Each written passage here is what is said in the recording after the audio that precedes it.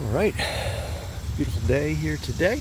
Um, I am uh, stressed to like the highest level, I guess. Um, Saturday, uh, in three days, I'm going to be disconnecting uh, two towns, and I am not looking forward to it at all. Um, to be doing it on a Saturday. I'm going to be disconnecting Princess Anne and Pocomoke. Pocomoke should only be about 30 minutes. Princess Anne might be about an hour and a half, unfortunately. Uh, simultaneously to that going on, um, I'm right here at a very interesting location in Salisbury where um, basically this location, every fiber provider is right in this area. Uh, every uh, fiber provider and even Comcast has a DOCSIS, I don't know, amplifier or something going on. And uh, we've got everything, uh, every possible fiber provider, of which we're going to be picking up one uh, today. There's a handhole over there, there's a handhole here. This is our handhole uh, vault. And in this vault here, um, we're going to be taking two fibers out of our 96 and I'm going to be dropping them into this vault to pick up a new 10 gig uh, circuit on a DWDM filter. They just put the filter in, so I'm pretty excited about that. Uh, but yeah, not a whole lot to do uh, here.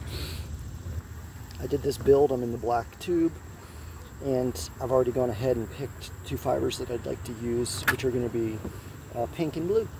I do have a 1x2 splitter here, which is very abnormal. And I'll tell you why. Uh, I've got basically I cut I cut um, the blue. I put the two-way, This is what I did about a year ago. Okay, I put the two-way here because there's a building right there. Okay, bridge, river, nothing okay? So there was no, they're not going to put a house right here. They can't build a house here. The other uh, situation is that um, to, to really take note, uh, excuse me, here, that's really interesting, okay? Well, all the big boys, right? All the big boys, you got your Comcast, you got your, I don't even want to keep saying names, but you got all your big boys up here, okay? Um, that are crossing this uh, river so they're coming out of this pole, busted ass pole. Look at this. There's slack loops and slack loops and and the Virgin Mary's up there, right right up in there.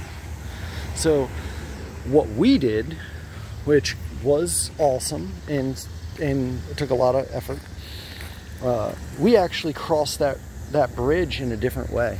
And you got to take it to Kirk uh, and at the time, Jim was with us, a fantastic dude. And we got with the city and we came up with an agreement for attachment on this bridge that they just put in, okay? And let me tell you, they didn't want us to penetrate the bridge, okay? So we, in rigid conduit, okay? we use U-bolts that go up and over the beam come down and affix to the uh, bridge. So we're the only carrier that cross this river right here in a physical way. Um, I'm sorry, in a, uh, this would be equivalent to it being underground the entire way. I mean, we can't go under the river because of the EPA and stuff, but we do cross this bridge in a way that if something happened to this right here, this pole or that pole, um, there's gonna be a whole lot of people upset with, with life. Uh, our customers, I think, are gonna be pretty happy that we chose to uh, cross the actual bridge uh, itself. Now they just put this bridge in, so uh, you can't hate on those people too much because the bridge didn't exist uh, you know, when it was put in. So the uh, crossing of that uh, river, that's our fiber right there uh, actually takes us down that road about a mile or so, I guess. Um, and yeah, nice, nice, nice, beautiful day out here uh, splicing. But we are going to be shooting the OTDR today. Uh, this is extremely, extremely important, uh, important, and I want no issues here. So, yeah. So we're gonna go ahead. We're gonna be adding a second tray here. Uh, we're gonna be using a transit uh, tube. We're gonna bring this up right like so. I uh, hope that's not the cops coming to get me. Oh. Not today. Don't come get me today. It's too nice out here. Ah, it's an ambulance on the roundabout.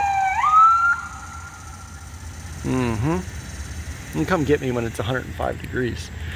But what we're gonna do, uh, we're gonna go ahead. We've got our slack out. This took quite a bit to get out. I did this backwards. It's, it's my fault. I got nobody to be upset with but myself. I'm gonna go ahead and take out my uh, light blue and my pink and cut them.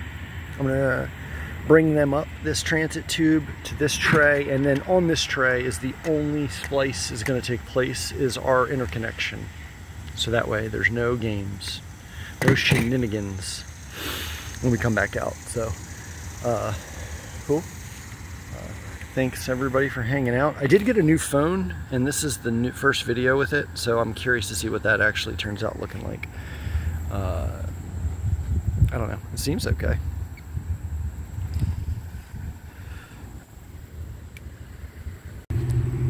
Cool, so we're just about dang uh, set up here. Got my four fibers that need to get spliced together.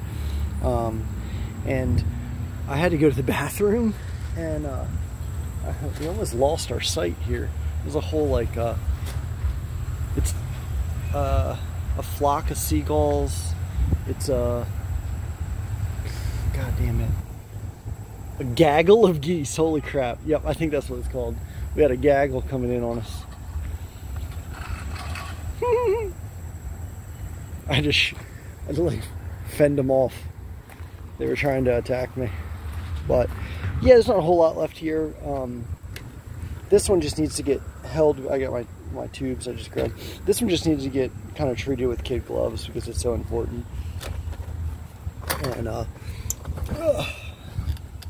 basically, gonna have we are gonna have our splice on the main tray, but that was based on lengths, and again, that was my fault.